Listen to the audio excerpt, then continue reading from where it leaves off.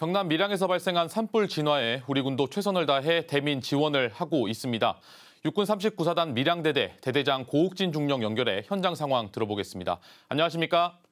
네, 안녕하십니까. 고욱진 중령입니다. 네, 지금 현재 산불 진화가 조금 길어지고 있습니다. 현장 상황 전해주시죠.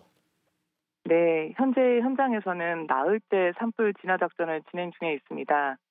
현장은 주불 진화가 늦어져서 발화 지점이 확산 중인 상황이었었는데 10시 부에 주불은 진화가 지금 완료된 상황이고 군에서는 오늘 1,056명의 장병을 투입해 최선을 다하여 잔불 제거 작전을 지속, 해서 실시 중에 있습니다.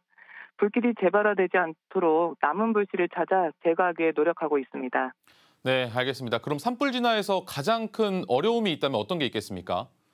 네, 가장 어려운 점은 건조하며 예측할 수 없는 기상하고 지속 반복되는 불씨의 재발화였습니다.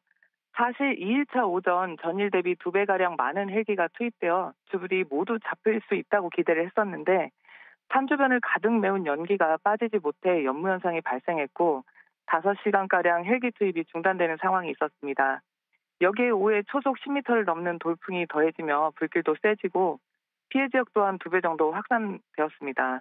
그렇다 보니 불길이 거센 지역은 지상 인력 접근이 제한되었고 주위를 가득 메운 연기와 열기, 병력이 위치한 구역 직전까지 내려온 불길로 고립될 수 있는 환경이 위험하면서도 어렵게 한시도 긴장을 놓을 수 없었습니다. 네, 정말 어려운 상황에서 좀 산불 진화에 노력을 해주시고 있는 것 같은데 이렇게 주불 진화에 시간이 걸리면서 주민 불편도 조금씩 이어지고 있다고 전해 들었습니다. 현재 우리 군은 현장에서 어떤 대응을 하고 있습니까? 네, 현장에서는 일단 산림청을 중심으로 전문 인력은 주불 진화를 실시하고 저희 군은 헬기나 방화차로 앞에서 살수를 해주면 주부를 잡은 후방을 따라서 남아있는 잔불 제거를 통해 민가로 불씨가 접근하지 못하도록 방화선을 구축하고 재발화되지 않도록 대응 중에 있습니다.